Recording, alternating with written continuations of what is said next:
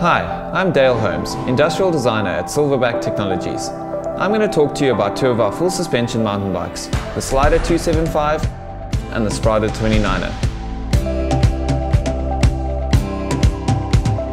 These models fall into the trail category, which typically utilize between 110 and 140 mm of suspension travel.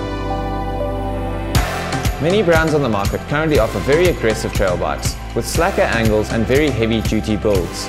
We have opted to create something that is better suited for all-round riding, utilizing relaxed geometry, coupled with efficient pedaling characteristics and robust hydroform tubing that isn't too overkill for the category. We believe these bike models fit into an all-round category, or as we like to call it, XC Trail. This is a bike you can enjoy in a marathon race and also use at your local enduro trail.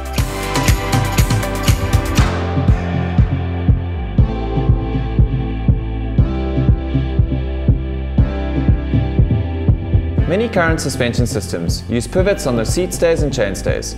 These systems are prone to flex as the pivots can move independently to each other. This is why we use a floating pivot point design. Floating pivot point designs use a solid rear triangle that rotates on two sets of linkages. IDS is Silverback's proprietary trail suspension technology. What makes this system different is that it uses a lower linkage that is concentric to the bottom bracket.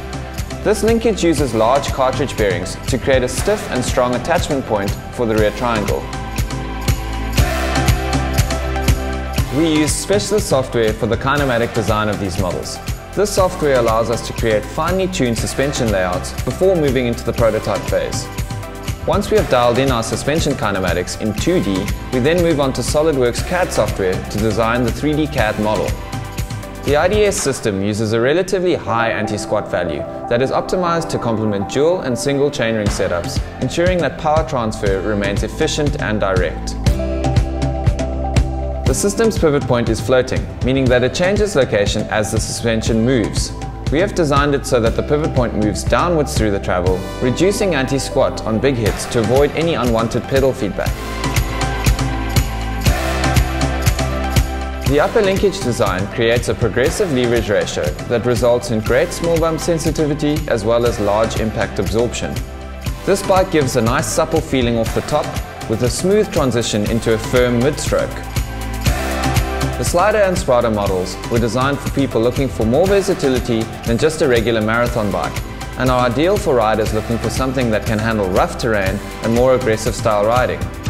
These bikes also suit heavier riders as more durable components have been selected to complement the robust frame design. These two models are both available in 1x11 and 2x10 versions, all including tubeless trail rims and RockShox forks with Fox rear shocks.